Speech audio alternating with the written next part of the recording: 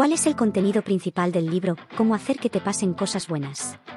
El contenido central de Cómo hacer que te pasen cosas buenas gira en torno a la transformación personal a través de la mentalidad positiva y la autoconciencia.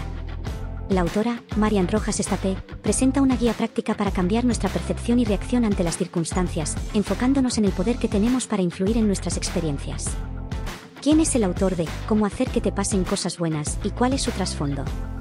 Marian Rojas Estapé, autora y médica psiquiatra, ha logrado fusionar su experiencia médica con su pasión por la psicología positiva. Su trasfondo le proporciona una perspectiva única para abordar el bienestar emocional y ofrecer consejos desde un enfoque basado en la ciencia y la práctica clínica.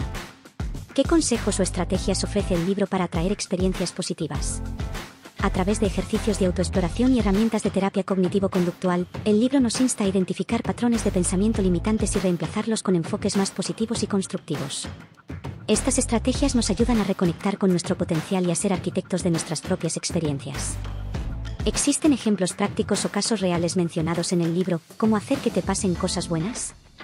Marian Rojas Estapé ilustra sus conceptos con ejemplos reales que permiten a los lectores comprender cómo aplicar las estrategias en la vida cotidiana. Estos ejemplos ayudan a hacer que las enseñanzas sean más tangibles y aplicables. ¿Cuál es la filosofía o enfoque detrás del título del libro? El título del libro refleja una filosofía de empoderamiento personal. Sugiere que podemos influir en la dirección de nuestras vidas al cambiar nuestra actitud y perspectiva.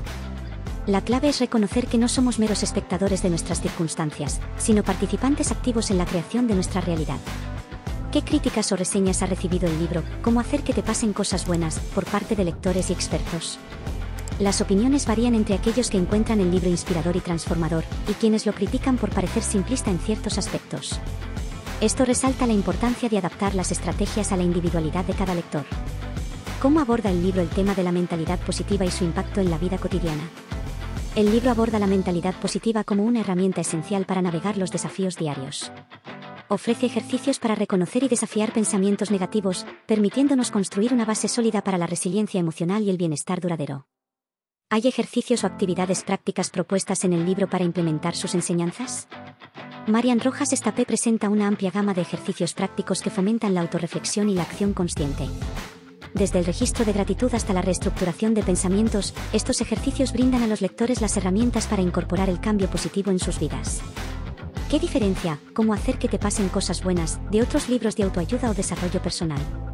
Lo que distingue a este libro es la integración de la experiencia clínica de la autora con su estilo cálido y accesible. Combina fundamentos científicos con aplicaciones prácticas, lo que lo convierte en un recurso valioso para quienes buscan un enfoque holístico en su crecimiento personal. No pierdas la oportunidad de obtener, cómo hacer que te pasen cosas buenas, a un precio increíble a través del enlace de Amazon que se encuentra en la descripción del vídeo y en los comentarios fijados. No te arrepentirás de esta inversión en tu bienestar y desarrollo personal. Recuerda, la transformación comienza con un simple gesto. Haz clic en el enlace y empieza tu viaje hacia cosas buenas en tu vida. Te animo a explorar las entrevistas del autor y las opiniones de otros compañeros. Estos recursos adicionales, enlazados en la descripción y en los comentarios fijados, te brindarán una perspectiva más amplia sobre las enseñanzas del libro y cómo han impactado en la vida real.